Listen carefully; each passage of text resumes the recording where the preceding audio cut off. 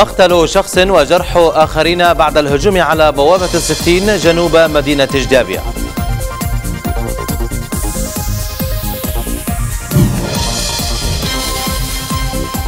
السويحلي يلتقي مع سلامة ويؤكد ضرورة التصدي لمحاولة عرقلة العملية التفاوضية.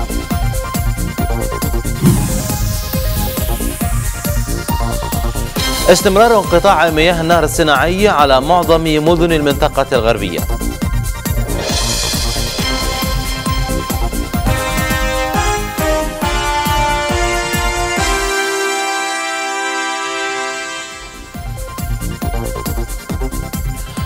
مشاهدينا الكرام هذه نشرة الثالثة أقدمها لكم من قناة ليبيا. بانوراما طيب الله أوقاتكم.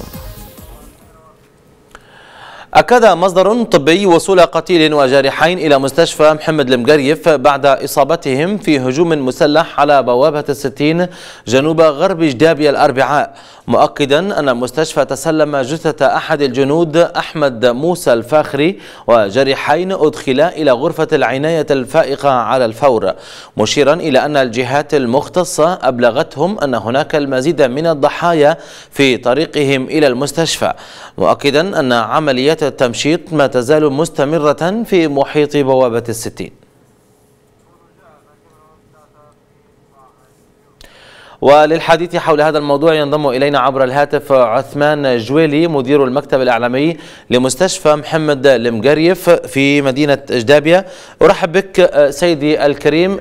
ما هي تفاصيل هذه الحادثة؟ وهل العدد عدد الضحايا مرجح للازدياد؟ نعم السلام عليكم ورحمة الله. بالنسبة لخصوص عملية اليوم آه وردنا من آه بوابة الستين تقع جنوبا على مدينة آه إجدابية وردنا أن هناك حصل اشتباك في تمام الساعة السادسة صباحا. بعد ذلك تم وصول جسمان أحد الشهداء نحسبه عند الله شهداء أحمد الفاخري. بعد ذلك وصلنا ثلاث جرحى أحب أن أؤكد على المعلومة ثلاث جرحى وليس جارحين أحدهما فقط من هو بغرفة العناية وهو السيد سعيد مبارك.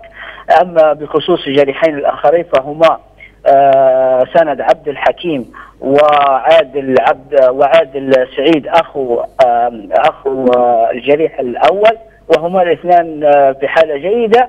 بعد ذلك وصلنا لجثمان المرحوم مفتاح لليوي المغربي. بالنسبة للشهداء الاثنان من مدينة جدابيه بالنسبة للجرحى الثلاثة من مدينة البيضاء وهؤلاء جميعا ينتمون للكتيبة 52 مشاهد من مدينة جدابية بخصوص ما حصل هنالك وعملية التمشيط لم لم يردنا بعد ذلك إلى هذه اللحظة لم يردنا أي جريح أو قتيل من هنالك. ولكن تم التمشيط في محيط في محيط البوابة بوابة 60 ولكن تم تصنيف من كانوا هنالك من ممن ينتسبون للجيش الليبي على أنهم مفقودين حتى هذه الساعة لم يجدوهم لم يجدوا جثامينهم. إن كانوا قد قتلوا ونسال الله أن لم يقتلوا.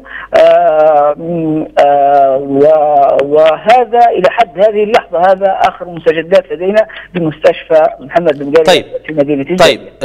عثمان يعني بالتحديد كم عدد الضحايا إلى الآن بحسب إلى المعلومات الآن الواردة إليك إلى بالتحديد؟ الآن إلى إلى الآن سيدي الكريم ما أستطيع أن أجزم به هو ما قد وصل للمستشفى فعلا وهما قتيلين وثلاثة جرحى فقط ما وصلنا بالرغم من أن العدد الذي كان هناك يقوم بعملية الحراسة في النقطه الأمنية هنالك في بوابة الستين أكثر من ذلك كما بلغني من من مدير نقطة أمن المستشفى بالمستشفى. طيب يا عثمان المعلومات الواردة عن هذه الحادثة أنه تفجير تفجير ربما بسيارة مفخخه، هناك معلومات أيضا تشير بأن هناك تصفية جسدية لأعضاء الكتيبة الرابضون في في الموقع، نعم نعم. ما هي صحة هذه المعلومات؟ آه بالنسبة لعملية أن تكون تفجير أو هجوم فما وردني أنا على أنه هجوم وليس تفجير سيارة مفخخة والله أعلم. ولكن ما أحب أن أؤكد عليه أن هناك تصفية جسدية لأحمد بوراس الفاخري حيث فصل رأسه عن جسده وقد وقفت على ذلك بنفسي. كما كما كانت طريقة قتل الشهيد الثاني اللي هو مفتاح آه، العليوي آه، المغربي آه، حرقا وكانت نسبة الحرق كبيرة يعني في الجسم نعم. وقد وقفت طيب. على ذلك شخصيا عثمان حفظ الجسمانين في في الثلاجة بالمستشفى يعني. عثمان أصابع الاتهام مباشرة اتجهت إلى تنظيم الدولة يعني هل هل تؤكد هذه المعلومات أن تنظيم الدولة هو من قام بهذه العملية؟ والله هي الملامح التي قامت بها الملامح التي حدثت هذه العملية تشير بأصابع الاتهام إلى تنظيم الدولة ولكن آه، لا أستطيع أن أجزم بذلك لأنه لم يتم القبض على أحد أفراد القائمين بهذا الفعل الشنيع والإجرامي آه، وكما أؤكد على أنه إلى إلى حتى هذه الساعة لم تتولى جهة ما القيام بهذه بهذا الهجوم الغادر. نعم. عثمان نعم. جويلي مدير المكتب الإعلامي لمستشفى محمد المقريف في إجدابيا شكرا جزيلا لك.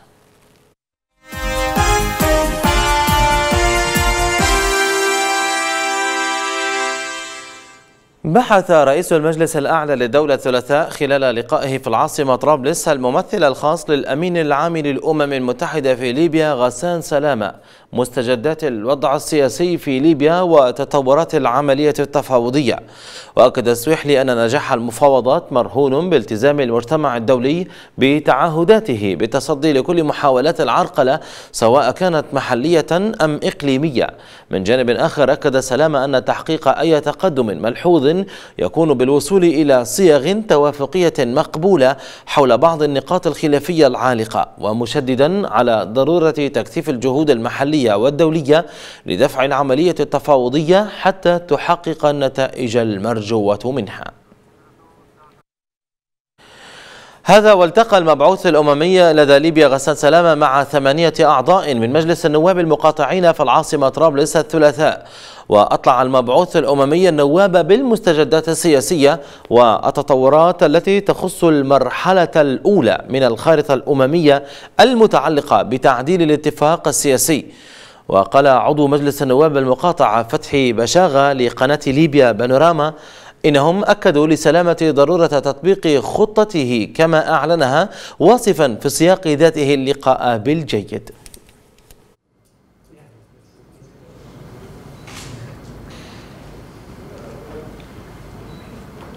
طبعا كان لقاء السيد غسان اليوم بالنواب المقاطعين الذين لم يلتحقوا بالبرلمان لعدم تنفيذ تطبيق الاتفاق السياسي.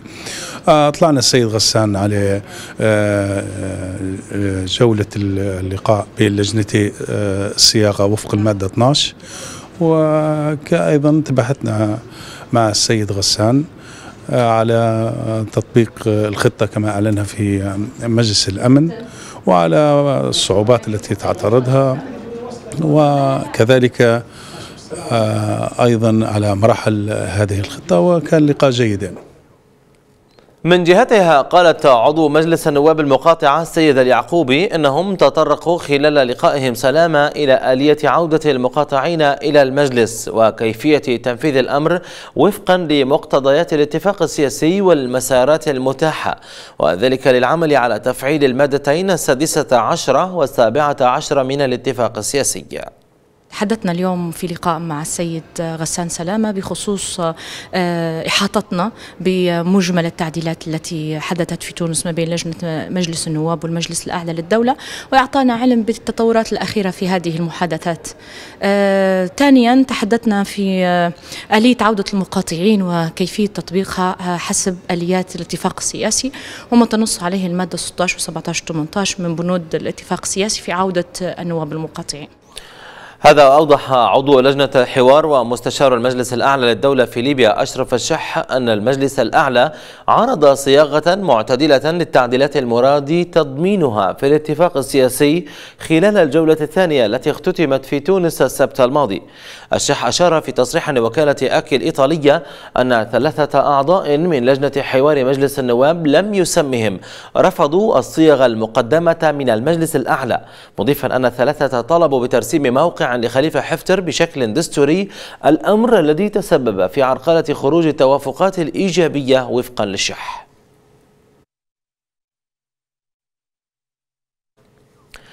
وفي السياق ذاته أكد وزير الخارجية الإيطالي أنجلينو ألفانو الثلاثاء دعم بلاده لجهود مبعوث الأمم المتحدة إلى ليبيا غسان سلامة مشددا في تصريح أدلى به على هامش المؤتمر الأول لمنظمة الأمن والتعاون في أوروبا مع دول شمال إفريقيا في باليرمو على أهمية التوصل إلى أوسع توافق ممكن بين شرق البلاد وغربها.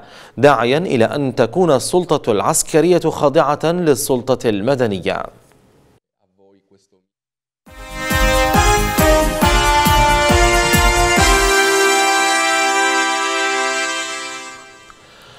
لا يزال المواطنون بطرابلس ومعظم المناطق الغربية يعانون من انقطاع مياه النهر الصناعي لأسباب أمنية تتعلق بمطالب من مسلحين قاموا بإغلاق خط الإمداد الرئيس من المصدر. الزميل زياد الحجاجي وفانا بالتقرير التالي. تزامنا مع البيان الذي أصدره جهاز النهر الصناعي عن البدء في الصيانة الدورية في إحدى الصمامات بالخط الرئيسي للمياه الذي يغذي طرابلس. وباقي المناطق الغربية. أعلنت مجموعة مسلحة نيتها قطع المياه عن مدن الساحل والجبل من أجل الإفراج عن شخص مقبوض عليه في إحدى الجهات الأمنية بالعاصمة. ونوجه بهذا البيان إلى جميع الليبيين الخيرين الشرفاء الذين ألهم ألهم حس الوطني وأن يتضامنوا معنا بحقنا ومطالبنا وعليه فإن مياه النهر متوقفة حتى يتم الإفراج عن أبن الجنوب المقدم المبروك حنيش. أولى التهديدات طالت محطة الكهرباء الفرعية بالحقل الغربي المغذي لمنظومة الحساونة حيث رد جهاز مشروع النهر بإصدار بيان استنكر فيه العمل وفي تصريح لليبيا بانوراما أشار مدير عام منظومة الحساونة إلى أن أعمال الصيانة انتهت بالكامل. وأرجع انقطاع المياه لأسباب أمنية. نتيجة للمشكلة الأخيرة اللي صارت آه، كانت آه، أربكت الفريق وخلته يشتغل تحت ظروف أمنية سيئة وتحت ضغط نفسي. ولكن الحمد لله آه، أصروا بإصرارهم وتمكنوا بفضل من الله سبحانه وتعالى تمكنوا من إنجاز العمل. ويخي في فترة أقل من الفترة حتى المخطط لها رجوع المياه هذا يعتمد على حل الإشكالية القائمة في في منطقة الحقول.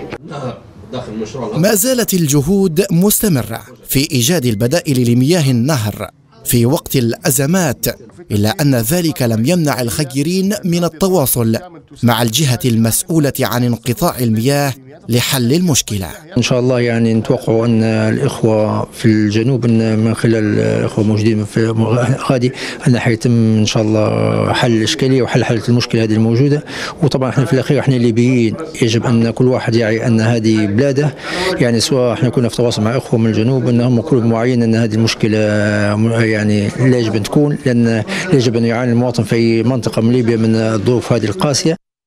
مبدأ لا بد أن يتفق عليه القاصي قبل الداني ألا وهو إبعاد قوت ومقدرات الشعب الليبي عن أي تجاذب أو مطالب.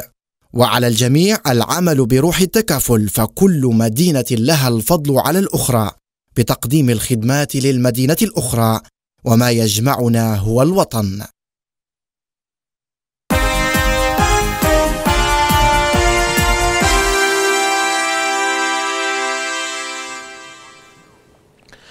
أعلنت هيئة الرقابة الإدارية أن منظومة الرقم الوطنية التي أتبعتها وزارة المالية بحكومة الوفاق الوطنية أدخلت ما يقارب من مليوني رقم وطني لمنظومة المرتبات بوزارة المالية. المزيد متابعه في سياق التقرير التالي.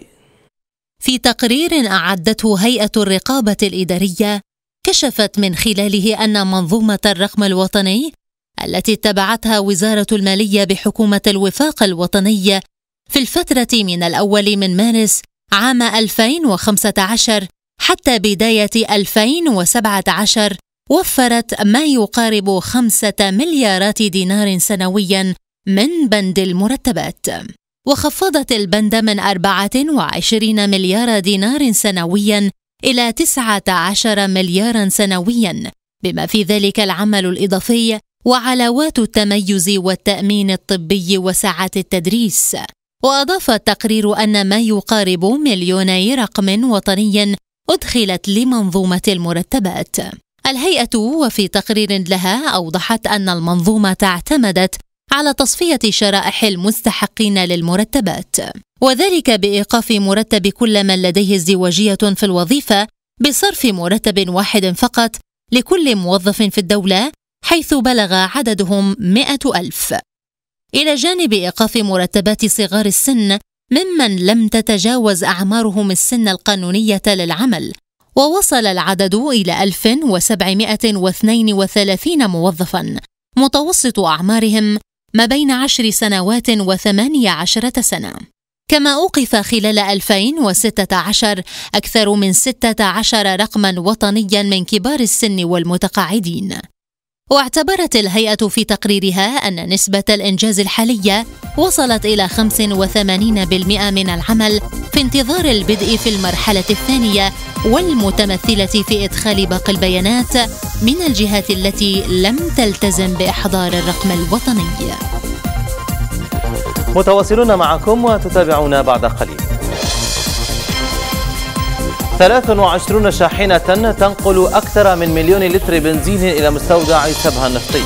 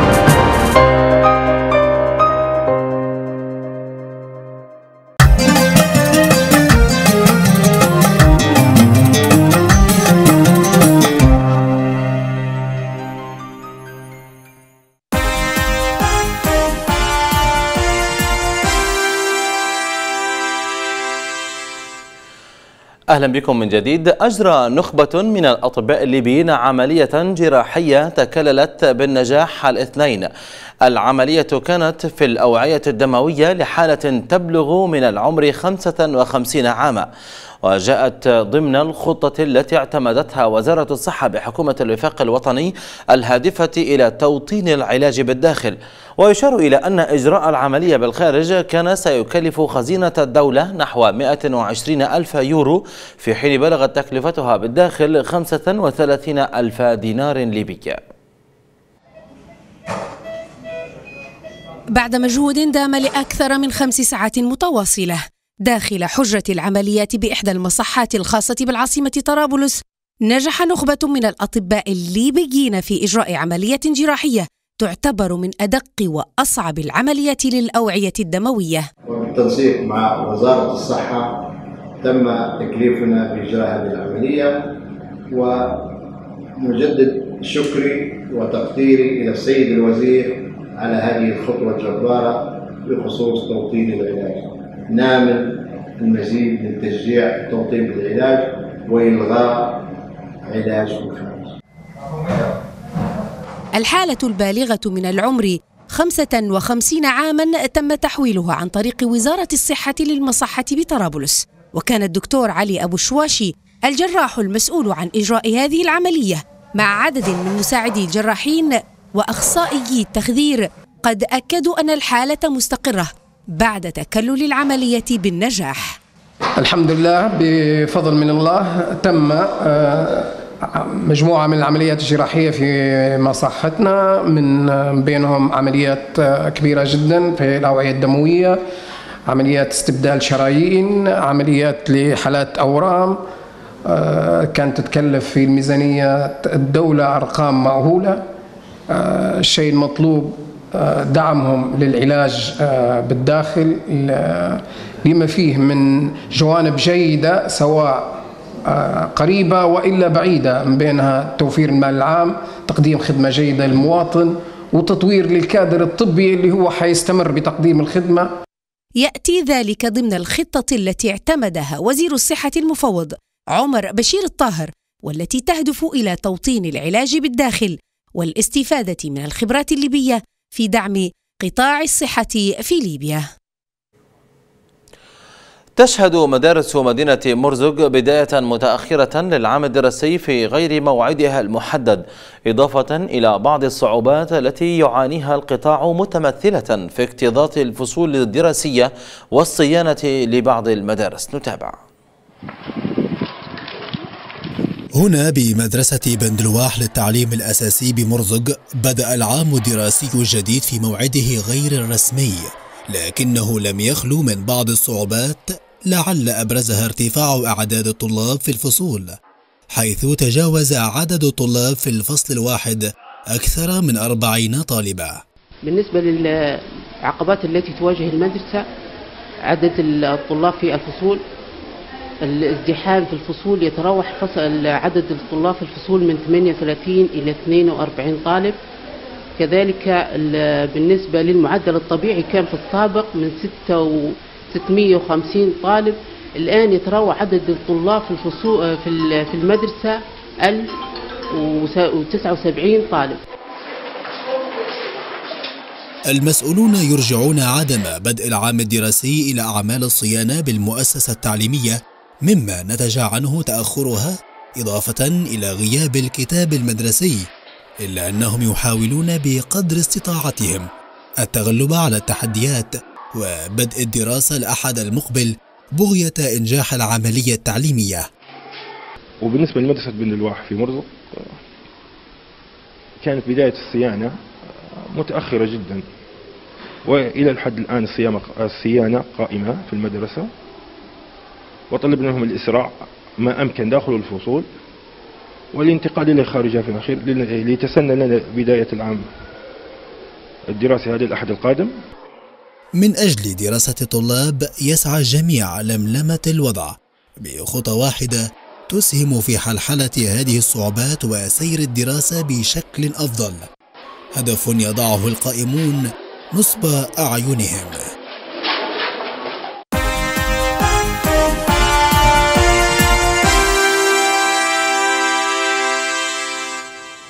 أعلن مدير منطقة مصراتة بشركة لبريغا لتسويق النفط أن 23 شاحنة محملة بنحو مليون وخمسة وثلاثين ألف لتر من وقود البنزين. قد توجهت الاثنين من مستودع مصراتة النفطي إلى مستودع سبها. وأوضح مدير منطقة مصراتة أن عمليات شحن الوقود والغاز تأتي بناء على التعليمات الصادرة من رئيس لجنة إدارة شركة لبريغا لتسويق النفط بإشراف مباشر من رئيس مجلس إدارة المؤسسة الوطنية للنفط. بخصوص تزويد جميع مدن الجنوب الليبي بالوقود وغاز الطهوة.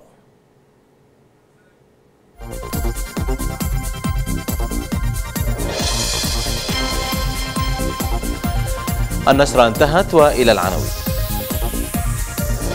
مقتل شخص وجرح آخرين بعد الهجوم على بوابة الستين جنوب مدينة جدابيا